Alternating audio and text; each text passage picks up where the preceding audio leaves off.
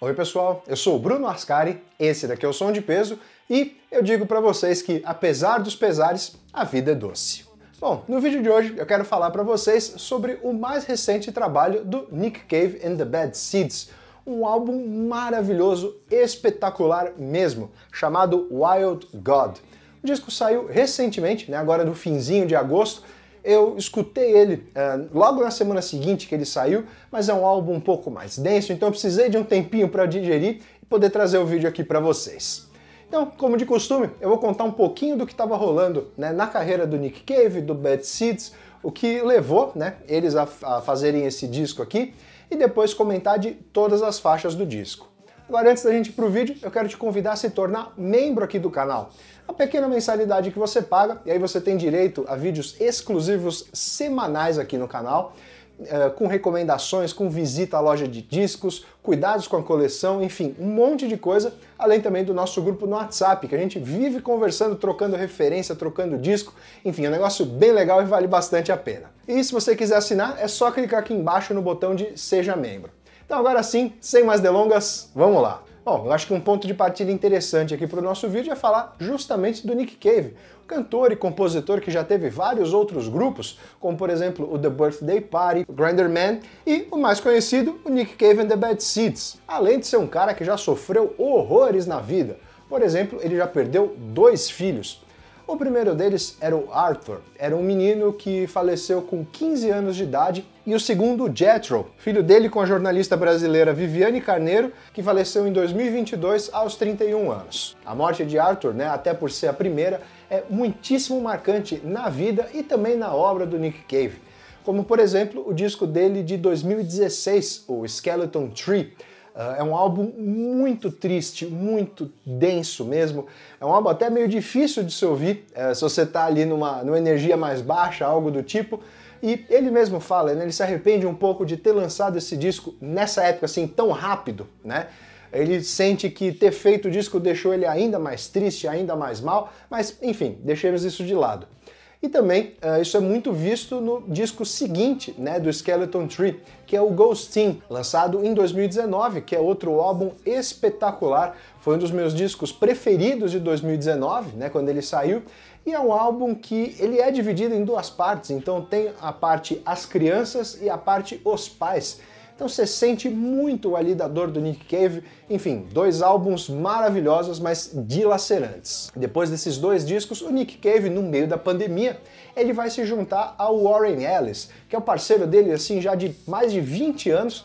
E não, por favor, não confundam ele com o quadrinista, né, de mesmo nome, mas enfim, Uh, eles vão lançar outro álbum maravilhoso aí, só os dois, né, gravado super rapidinho ali no meio da pandemia e tal é um álbum chamado Carnage, um disco que também aborda a perda do Arthur em alguns momentos, repleto ali também de letras existencialistas e profundas, e também foi um dos meus lançamentos preferidos lá de 2021. E é justamente depois do lançamento do Carnage que o Nick Cave vai perder o seu segundo filho, o Jethro, né, que nem eu contei para vocês, que acaba falecendo no ano seguinte, em 2022. Mas ele mesmo conta em entrevistas que ele mudou a forma como ele vê o luto. Então, assim, antes ele se fechava né, dentro de uma própria concha, ele olhava para dentro de uma forma se culpando até de várias coisas. Então, assim, se é que é possível, ele tenta trazer uma visão mais otimista em relação ao luto e à perda de um filho.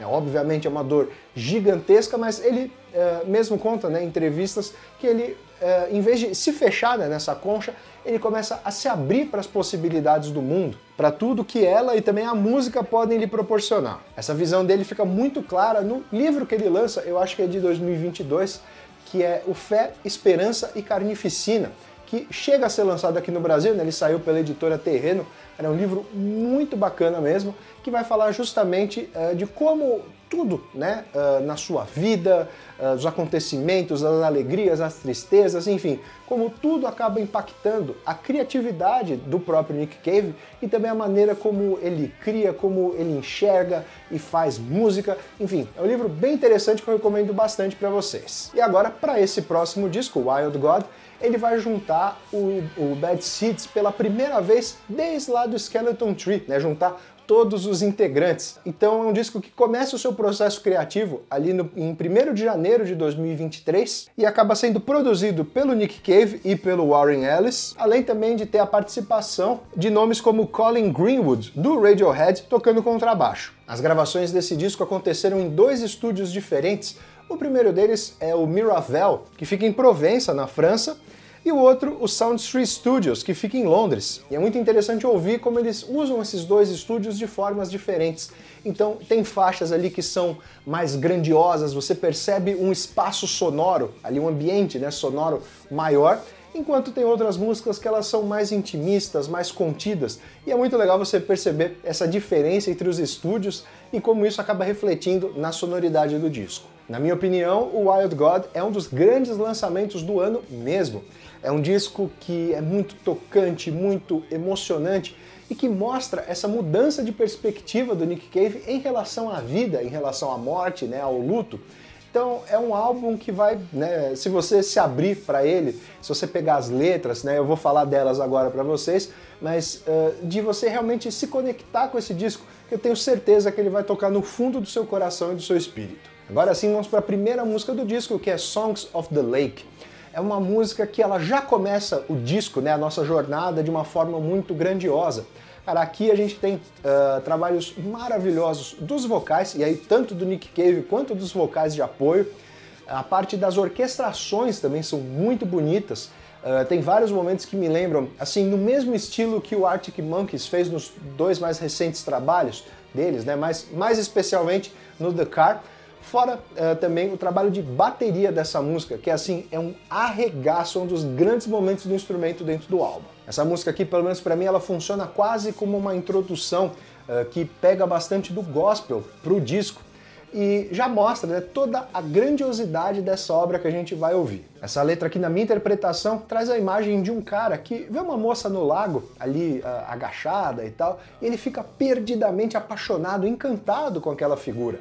E aí ele começa a cantar uma música, que é justamente a Song of the Lake, né, a música do lago, que é o título aqui dessa faixa, uma tentativa de conquistá-la, né, chamar a atenção dela de alguma forma. Mas para mim tudo isso nada mais é do que uma grande metáfora para falar da vida, em como muitas vezes a gente se encanta né, com várias das coisas, a gente tenta chamar atenção, né, buscá-la, trazer elas para nós, quando na verdade a gente não tem nenhum controle sobre isso.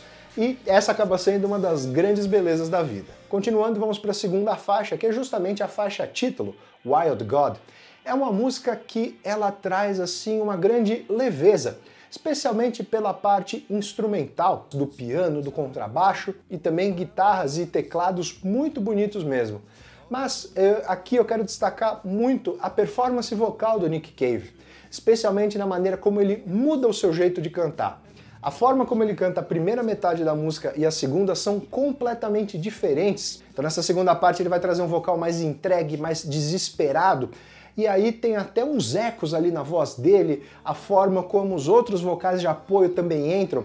Cara, é assim, uh, é, um, é um vocal que ele é meio fantasmagórico, mas ao mesmo tempo ele é reconfortante sabe? Você sente o desespero dele cantando, mas isso de alguma forma muito bonita acaba te acolhendo. Então, para mim, é o grande momento vocal do Nick Cave dentro do álbum. Mais pra frente, quando entram os arranjos de corda, os outros vocais de apoio, e eles estão cantando, né, ali, Bring Your Spirits Down, né, de traga o seu espírito para baixo, Cara, é um dos momentos. Ó, eu de falar eu fiquei arrepiado porque realmente é um dos momentos mais lindos, mais intensos e emocionantes de todo o álbum. Eu particularmente entendi essa música como, né, a letra dela, como uma busca né, do personagem dela para encontrar Deus, né, ou uma força superior, enfim, dê o nome que você quiser. Apesar do personagem aqui ser chamado de Wild God, né, que seria uma tradução livre assim, um Deus selvagem, ele ainda não é Deus, Deus, né? Tipo, uh, Deus que a gente está acostumado, né? De ser a figura superior, onipresente, onipotente e tudo mais. Então, o personagem ele é visto como um, entre muitas aspas aqui, um deus menor. E isso é muito interessante, né? Porque considerando as decisões que a gente toma no dia a dia, né, das nossas vidas, do que a gente vai fazer, uh, de tentar seguir, né, de é, trilhar o nosso próprio destino, a gente, de certa forma, não deixamos de ser mini-deuses, nesse sentido de tentar né, ter controle da nossa vida através das nossas ações, e isso acaba tornando a gente esse mini-deus né, na busca de um deus-deus né, superior além disso. E é muito interessante porque na letra mesmo ele fala uh, nessa busca também por outras pessoas que têm a mesma visão de mundo do que ele, essa mesma coragem né, para enfrentar as coisas. E isso, para mim, é uma mensagem muito bonita, porque acaba sendo justamente o que a nossa vida é. A gente sempre está né, do lado das pessoas que a gente ama, uh, buscando pessoas que têm um pensamento parecido ou pelo menos uh, enxergam a vida de uma forma semelhante à nossa, para que a gente possa criar a nossa comunidade e possa viver da melhor forma possível. Então, para mim, cara, Wild God é de longe uma das faixas mais bonitas de todo o álbum e arrisco dizer de toda a discografia e carreira do Nick Cave. Continuando, vamos para a faixa Frogs, que é uma música que ela começa ali com um clima mais etéreo, né, mais espacial ali, especialmente pelo trabalho do piano elétrico e também da bateria, ao mesmo tempo que tem né, uma grandiosidade trazida ali pelo flugelhorn né, e também pelos arranjos de cordas que vão ficar ao fundo. Cara, essa é uma música que eu dou muito destaque mesmo uh, ah, para o trabalho dos teclados ali, e especialmente do contrabaixo, que é um dos grandes momentos do instrumento dentro do álbum, além do piano e também dos vocais do Nick Cave, que estão muito entregues e bem felizes, e isso tem tudo a ver com a letra. Essa música aqui coloca a gente né, numa metáfora ali como pequenos sapinhos que saem pulando por aí, Uh, ou como o próprio Nick Cave fala, né, uh, para explorar o mundo uh, né, e entrar num casaco molhado numa chuva de domingo. Então a gente sai por aí buscando Deus, o amor, confiança, alegria, êxtase, outras pessoas, enfim, assim como os próprios sapinhos, né, que saem pulando por aí buscando explorar o mundo, né, buscando tudo de melhor que ele pode oferecer para a gente. Então é uma letra bem bonita, né, eu achei, e é uma música que quando eu escutei assim, cara, eu terminei uh, já com um sorriso no rosto, que realmente é uma música muito para cima mesmo. Continuando, vamos para a faixa Joy, uma música que tem um trabalho também bem etéreo, ali especialmente por causa do piano, do contrabaixo, das guitarras e dos teclados, e curiosamente é uma música que não tem bateria ali na parte inicial. Mais para frente a música vai crescendo, ela vai ganhando novos instrumentos e é como se a gente passasse de um lado para o outro, né, de um ponto a outro, e isso, pelo menos para mim, vai ter tudo a ver com a letra que eu já chego lá. Mas uma coisa que eu gostei muito aqui é, são dos vocais de apoio dessa faixa. E tem vários momentos ali uh, que me remetem diretamente à música Dark Fantasy, do Kanye West, né, que abre lá o My Beautiful Dark Twisted Fantasy. Cara, você escuta as duas músicas, de verdade, faz esse exercício porque eu fiz aqui em casa. Uh, coloca as duas músicas, cara, dá pra você encaixar direitinho uh, os vocais de apoio naquela, né, na, na, música do Kanye West, né, que fica aquele oh, oh, oh, oh, oh, oh, cara, você encaixa direitinho ali. Enfim, achei um negócio legal de trazer aqui. Essa música aqui já começa com o Nick Cave cantando, né, ele fala abertamente sobre estar se sentindo mal com a sensação de ter perdido alguém da família. Uh, e isso uh, é uma faixa assim essencial dentro do conceito né, do disco, né, das mensagens que ele quer passar, porque é justamente aqui que ele traz essa mudança de visão, que eu falei para vocês lá no começo, que ele se fechava, que ele olhava para dentro, eh, quase dentro de uma concha. E a partir disso ele começa a olhar a vida, a enxergar todas as possibilidades que ela pode oferecer para ele. E é justamente por olhar uh, todas as possibilidades da vida que ele volta a enxergar alegria. Né? Ele vê que ainda existem coisas boas no mundo. Então é uma mensagem muito linda, né? Porque o luto é, é uma, é uma coisa que infelizmente todo mundo vai ter que passar em algum momento da vida, seja uh, perdendo uma, uh, um pai, uma mãe, uma avó, um avô, um tio, enfim, um amigo, uma pessoa muito querida. Uh, é um sentimento que acaba unindo a gente e através da dor é, a gente vai voltar a enxergar alegria na vida. Então, é, essa música Joy para mim é uma das coisas mais lindas que o Nick Cave já escreveu. E agora, encerrando o lado A do disco, temos Final Rescue Attempt, que é uma música que ela se inicia ali de uma forma mais eletrônica, especialmente pelo trabalho do contrabaixo, dos sintetizadores, da bateria também. E na hora do refrão ela muda, ela cresce de uma forma muito entrega e muito intensa. E pelo menos para mim isso tem tudo a ver com a letra. Essa letra aqui, na minha interpretação, fala sobre a tentativa de suicídio que é justamente abortada quando chega uma pessoa que a gente ama muito, que a gente sabe que essa pessoa também ama a gente de volta. Então, assim, você tá ali no. Vai, vou usar essa metáfora aqui, uh, na, na beira do precipício ali e é justamente essa pessoa que aparece para te salvar. É uma letra que em alguns momentos o Nick Cave vai trazer o questionamento da fé, né, daquela se vale a pena continuar vivo, por que, que isso está acontecendo comigo, mas assim como na música anterior, né, Enjoy, ele traz essa mudança de visão dele.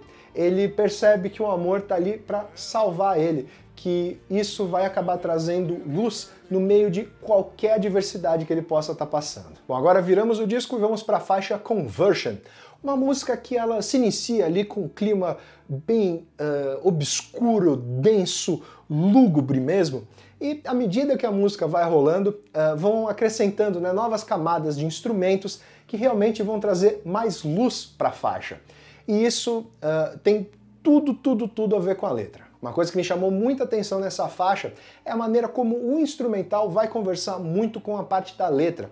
É uma música que temos excelentes trabalhos dos vocais, do baixo, da bateria e também das guitarras. Essa letra aqui, para mim, ela fala do momento que a gente chega do outro lado, né, depois que a gente morre.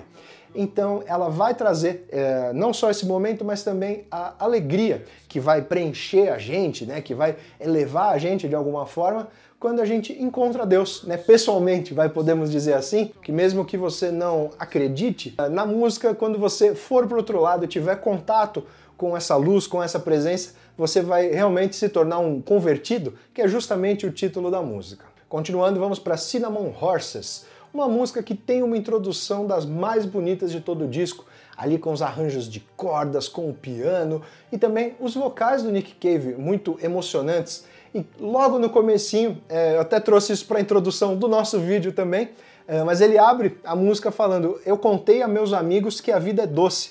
E né, você vendo todo o histórico, né, por tudo que ele passou, cara, você começar uma música desse jeito, apesar seu, do seu luto, da sua dor, é um negócio muito bonito e é uma música com umas melodias que são muito emocionantes e a mensagem, né, ali a parte da letra é a mesma coisa. Eu entendi essa letra aqui como uma reflexão sobre a vida, né, de como ela é doce, ela pode trazer bons momentos e como ela vale a pena ser vivida. E ao mesmo tempo é uma música que vai trazer o paradoxo do amor, né, que nem eu anotei aqui para não me perder é, de que o amor não precisa de nada quando ele é dado para outra pessoa, mas ele precisa de tudo para que a gente possa se abrir totalmente, né, e se entregar de corpo e alma para aquela sensação para com o outro. Então, é outro dos momentos mais bonitos do disco para mim. Continuando, vamos para a faixa Long Dark Nights. É uma faixa que ela começa ali também de um jeito mais soturno, mais triste, com um trabalho muito bonito mesmo do violão, do piano e também dos vocais do Nick Cave que para mim, cara, remetem diretamente à forma como Johnny Cash cantava, especialmente ali nos últimos discos, né, de ter aquele peso na, na, interpretação, na voz, e é uma música que acaba trazendo uma cara levemente mais country pro disco, que é algo que não tinha acontecido até agora. Essa letra aqui, na minha interpretação, é uma grande metáfora para falar, na verdade, sobre a depressão, em como ela é esse, essa noite muito densa, muito escura, que está sempre ali uh, prestes, né, a postos para te atacar a qualquer momento. E quando ela vai aparecer, é assim, é um eclipse total, é um breu que você nunca se viu, nunca sentiu igual. Então é um negócio para a gente ficar muito ligado sempre, porque isso pode acontecer a qualquer momento. Agora indo para a reta final do disco, temos Oh Wow, Oh Wow, How Wonderful She Is é uma música que tem, para mim, as melodias né, mais bonitas de todo o álbum. Fora o trabalho do contrabaixo, das guitarras, dos teclados, dos vocais, que tornam essa música aqui uma das mais especiais do disco. Essa letra aqui, para mim, traz um Nick Cave perdidamente, assim, completamente apaixonado. E ele conta que justamente por meio dessa paixão, ele volta a acreditar em Deus. Então ele vê aquela moça tão maravilhosa, tão estonteante, deslumbrante, que é, é, é uma beleza que ele nunca viu igual. E é, é um negócio que encanta ele de tal forma que ele volta a acreditar em Deus. Cara, é uma das letras mais bonitas que o Nick Cave já escreveu em toda a sua carreira. Isso põe a mão no fogo para falar mesmo. E como se não bastasse isso, essa música é uma grande homenagem a Anita Lane, que foi uma parceira de composição do Nick Cave. Uh, ele teve caso com ela também, eles chegaram a namorar ali por um tempo. E foi uma das maiores amigas que ele teve na vida. E infelizmente ela acabou morrendo também em 2021 sendo né, outra perda gigantesca na vida do Nick Cave, outro motivo de sofrimento. Uh, e ele usa um áudio dela na parte final da música que ela tinha mandado assim pelo WhatsApp, por alguma coisa do tipo. E, cara, isso acrescenta assim várias e várias camadas de beleza dentro dessa homenagem, dentro dessa história, e por isso é para mim uma das músicas mais especiais de todo o disco e de novo de toda a discografia do Nick Cave. E agora encerrando o disco, temos a música As the Water Covers the Sea uma música que ela é mais curtinha de todo o disco e para mim ela traz esse encerramento gospel. E essa influência está muito presente nos teclados uh, e principalmente, né, e especialmente nos vocais, tanto do Nick Cave quanto dos vocais de apoio. E toda essa influência gospel, pelo menos para mim, vai fazer total sentido com a letra. Aqui ele vai trazer essa mulher, né, que renasce do túmulo e para mim, o Nick Cave está fazendo uma alusão, né, uma menção direta a Jesus Cristo. Só que a diferença é que a mulher assim emerge né, do túmulo, enquanto Jesus Cristo vai sair da caverna né, depois de três dias. Além disso, eu interpretei né, água que cobre o mar como uma grande metáfora dele para falar, na verdade, da felicidade como uh, é o sentimento maior que existe, né? Acho que junto com o amor são os dois maiores sentimentos. E por mais que você tenha dores, que você tenha perdas, que você tenha sofrimentos ali em zonas mais baixas, né, mais abissais do mar, o que vai ficar na superfície, o que a gente vai ver, vai enxergar e também se refletir, por que não? É justamente a alegria, a felicidade que ficam na camada mais superficial. Então, pelo menos para mim, é, traz essa mudança de visão do Nick Cave mais uma vez e encerra o álbum de uma forma muito bonita mesmo. Bom, de considerações finais, Wild God é, para mim, um dos maiores discos de toda a discografia do Nick Cave, sem exagero nenhum, mostrando toda a força dele de se reinventar, de enxergar a vida de uma nova forma. É um disco muito forte, muito impactante, e quando você escuta, você sente esse peso, é, essa carga dentro do disco que nem eu falei para vocês, é um álbum que não é para você escutar assim no, no sem, sem, prestar atenção, sem realmente abrir né, os ouvidos, a sua mente, o seu coração para esse álbum. Porque eu realmente acho que é um álbum que quando a gente presta atenção e a gente permite, né, é um álbum que vai tocar a sua alma, vai tocar o seu espírito profundamente. Bom, pessoal, esse aqui foi o vídeo de hoje. Espero bastante que vocês tenham gostado do disco que eu trouxe aqui, da análise que eu fiz dele para vocês. E se você está chegando agora ou por algum motivo não é inscrito, por favor se inscreve no canal, deixa o seu joinha, seu comentário. Por favor, compartilhe esse vídeo com seus amigos, que assim a gente leva essa maravilha né, e espalha mais música para outras pessoas que são tão apaixonadas por ela, assim como eu e você. Então, muito obrigado, um grande abraço e até nosso próximo vídeo.